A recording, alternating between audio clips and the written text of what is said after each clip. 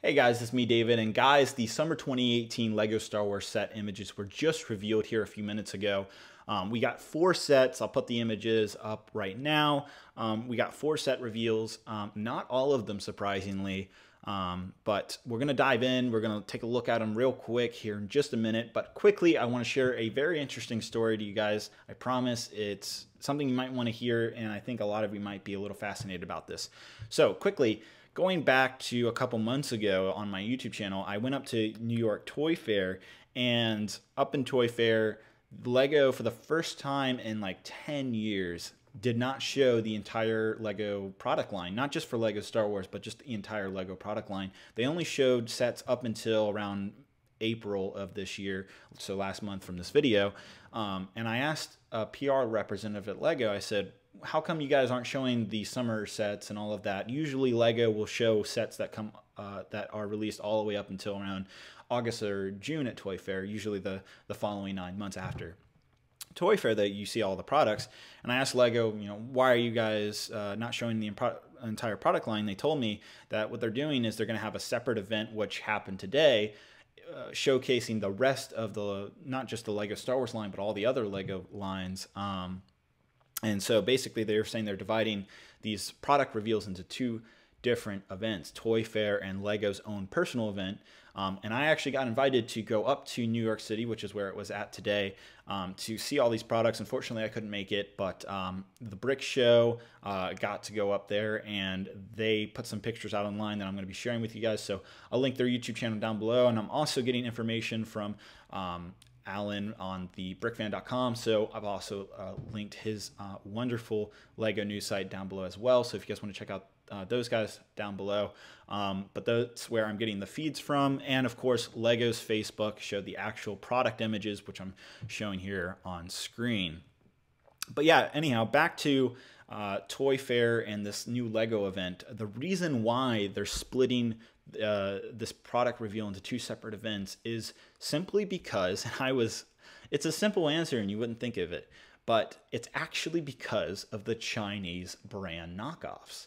No joke. It's uh, Lego's uh, like this is Lego's response to Lepin and all those other fake Lego manufacturers in China. It's usually China.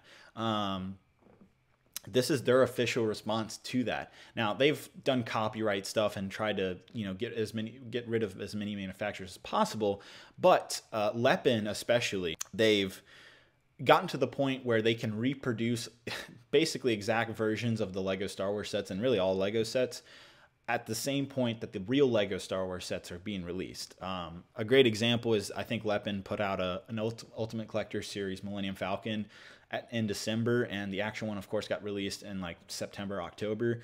Um, so Lepin, uh, uh, this particular Chinese knockoff brand, has been able to uh, really copy and, and make these Lego sets uh, at an exponential rate um, based off these product pictures and these product reveals. So this is Lego's response saying, hey, we're not going to let these fake Chinese brands see our entire product line for um, the entire year. We can't allow that uh, for them to get ahead and, and get these fake sets out so early alongside of our product uh, being released. So, so this is Lego's response to that, and I find it extremely interesting that Lego is taking this approach. Um, and also, I should say that I'm not being told by Lego to say any of this. This is something I, I figured a lot of the fan community would be interested on. I know uh, Chinese knockoffs have been a big deal over the last couple years, so it's interesting to see Lego finally taking a real stance against them. Um, it sucks though because we don't get to see all the products at one point. Instead, you know, they're dividing the information in half. But um, regardless, I think it's very interesting. So thought that would be a cool story for you guys. Without ado, let's get into these set pictures. Um, so first off, I'm going to dive into the probably the most interesting set, um, which is the X-Wing Starfighter. Uh, I know the th throne room is just as cool, but the X-Wing has been something a lot of fans, and I mean all fans, have been waiting to get their hands on another version of the X-Wing. Last time we got one was in 2012. I think this is the third, fourth, or fifth iteration if you count the Ultimate Collector Series version. What's interesting about this set is it looks very similar to the Ultimate Collector Series version. We get four minifigures, um, one of which is Luke, uh, R2-D2. I think it's Wedge, and then we also get uh, some type of silver and green astromech droid.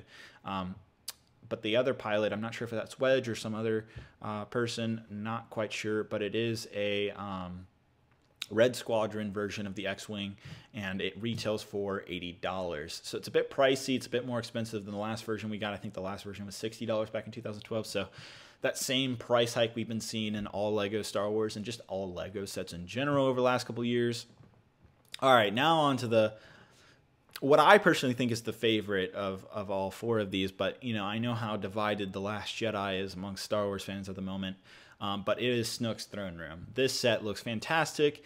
It's a little smaller than I uh, than I had anticipated from based off the rumors, but uh, it regardless, it looks great. I think everybody's gonna buy this set um, for those Praetorian guards, and I, am sorry if I butchered the name, um, but you also get uh, Snoke, you get Kylo Ren, and of course Rey.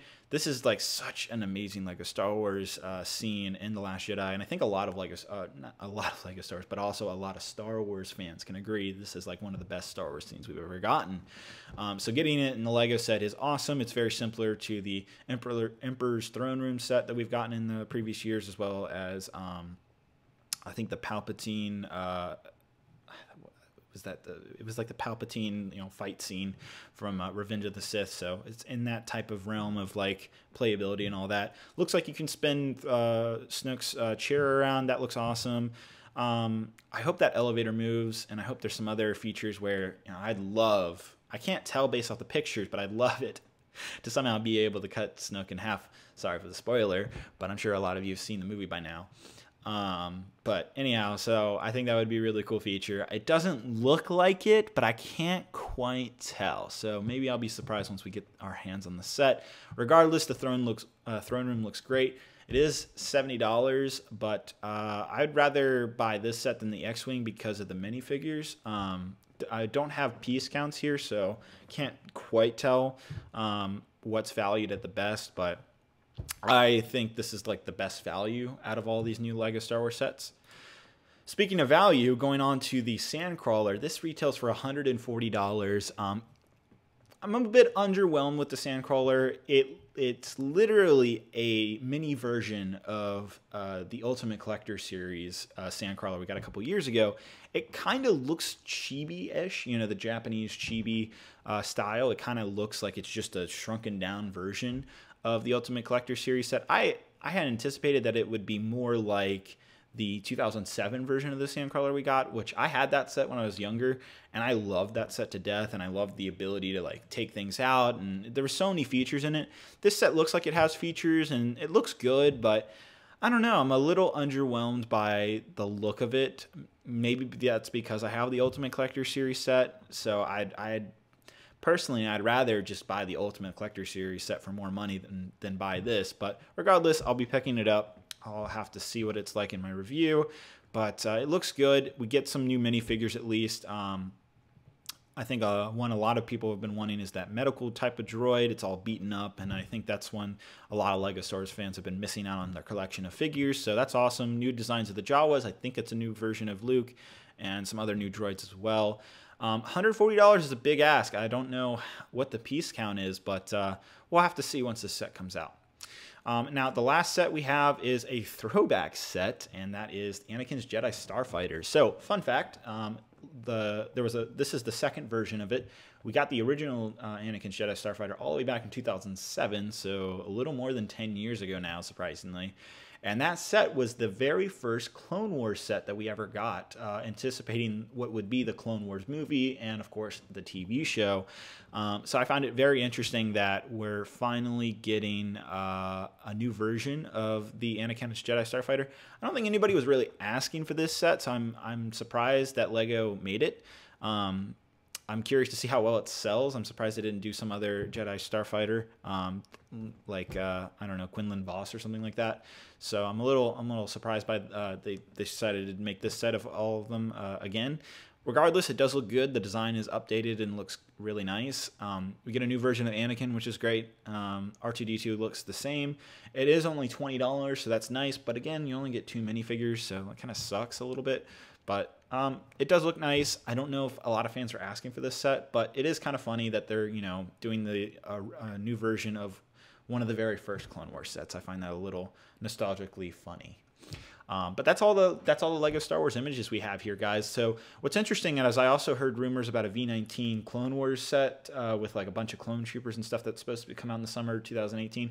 I don't think this is all the sets. I think there's a couple more sets that Lego is going to reveal, if uh, if not later in the month, uh, but when they finally come out, I guess in a couple of months. All these sets are set to release in uh, August of 2018, so just a couple months from this video.